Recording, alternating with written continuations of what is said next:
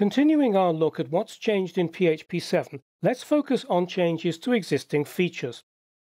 So the big question, will my code break? Well, the short answer is that it's highly unlikely, unless you're relying on really old deprecated code.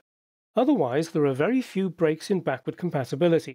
Perhaps the biggest change to existing features is that most fatal errors are now thrown like an exception and can be caught in a catch block. This is such an important change I cover it in depth later in the course. Before migrating to PHP 7, you should be aware of the following changes that might break your code. The way PHP interprets complex variable variables has changed. Test any scripts that use variable variables carefully.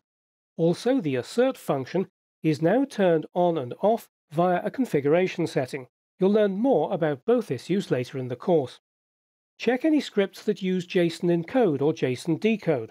A minor problem with the license of the original JSON extension has resulted in it being replaced with JSON-D, which was previously in PECL, the PHP Extension Community Library. It shouldn't have any adverse effect, but it's wise to check that you're not getting unexpected results. Another change that might affect some people is the unified way that internal classes now handle invalid arguments. Some internal classes, such as PDO and Message Formatter, used to return null if you pass the constructor invalid arguments. Now they throw an exception. If you relied on null to check for errors, you'll need to revise your code. This next issue sounds worse than it actually is.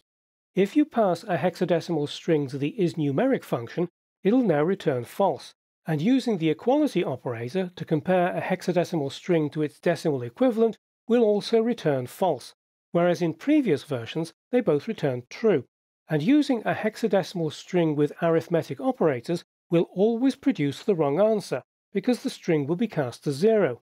So why is this not as bad as it sounds? Well, casting a hexadecimal string to an integer or float in previous versions of PHP always produced zero, so using hexadecimal strings in calculations was always problematic. This applies only to hexadecimal strings. In other words, hexadecimal values in quotes, it doesn't affect hexadecimal numbers that aren't wrapped in quotes. If you need to convert a hexadecimal string to a number, use the hexdec function, and you can convert it back to a hexadecimal string later with dechex. So, can you expect a smooth transition to PHP 7? Breaks in backward compatibility are mostly confined to edge cases, and I've outlined the main ones in this video. If you're using up-to-date code, you should be able to migrate easily to PHP 7 and start using the cool new features described in the following chapters. But before diving in, check legacy code carefully. PHP 7 is a major new version, and features that were deprecated in PHP 5 have been removed. If you still rely on them, your code will break. We'll look at what's gone next,